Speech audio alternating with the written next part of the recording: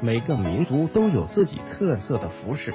提起满族，大家心目中就会出现辫子头和旗头；提起蒙古族，就会浮现出跑马的汉子。那么说起大和民族，大家心目中是不是会想起和服？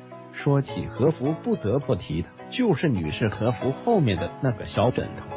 想必除了小编，还有很多人都对它十分好奇。那个所谓的小枕头，其实并不是一个枕头，而是由腰带和蝴蝶结发展而来的。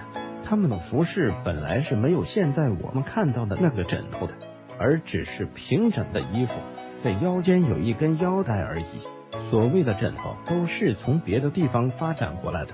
中世纪时，有传教士到他们那里去宣传，他们发现传教士们穿的大袍子在腰间会系有蝴蝶结。他们觉得很好看，便学了去。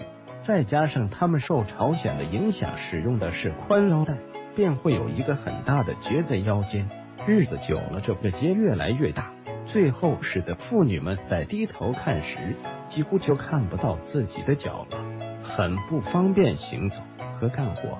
当然，日本女性最重视的还是自己的身材曲线，腰间的这个大结严重地影响了她们的身体的婀娜。完全无法凸显她们的腰部线条，于是乎这个结就到了后面，慢慢的这个结最后就发展成了小枕头。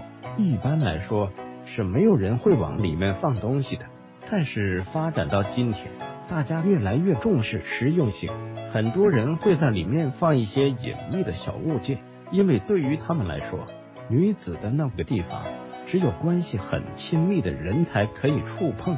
所以放在那里的东西很安全，也不会被人看见。因此，有女子会在里面放一些卫生巾、避孕套之类的，既方便又隐秘。那个地方属于女士和服的秘密。除了那里，和服还有好几处秘密。整体来看，女士和服给人的感觉像是裹得很严实的一块布，但又为什么在脖子开口的那个地方显得十分大方呢？这都是因为日本男人的癖好和日本女人的身材。日本女人大都身材矮小，腿很粗短，长长的袍子可以遮住这一缺陷。而日本男人尤其喜欢女子的脖子和后背，因此以男为尊的日本文化也在服饰上体现了这一点。一件合格的女士和服必定会有很适当的裁剪，尤其是在脖子和后背处。它会完美的露出女性的脖子，若隐若现的感觉出女性后背的肌肤。这种风格让无数日本男人欲罢不能。